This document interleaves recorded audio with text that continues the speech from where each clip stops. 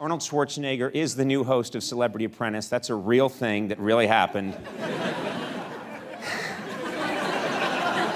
and everybody is today in the paper and, and, on the blogs and everything there, everyone's wondering what Arnold's catchphrase is going to be. Okay? Trump, of course, had you fired. Uh, so we're wondering what is Arnold going to do? He's probably not going to do that. He needs his own catchphrase, maybe something from one of his movies, probably. Uh, well, he, there's a lot to base it on there. Yeah. So we thought, let's at least examine some of the possibilities. Let's do it right now. Let's take a look. There's Hasta la vista, baby. There's You're terminated. You're expendable. You've been totally recalled. I commando you believe. You're out of the running, man. It's not a tumor, but you are the tumor. That is why they have to remove you. Why don't you jingle all the way to the unemployment line? I'll show you collateral damage. Here's a line from my movie called Collateral Damage. Have you seen it? Because now you had plenty of time to see it. And then the film's because you fired.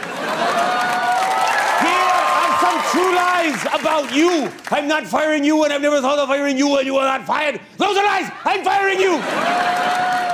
Did you know I turned down the role of John McClane in Die Hard? If I'd been in that film right now, I'd be saying yippee-ki-yay, mother!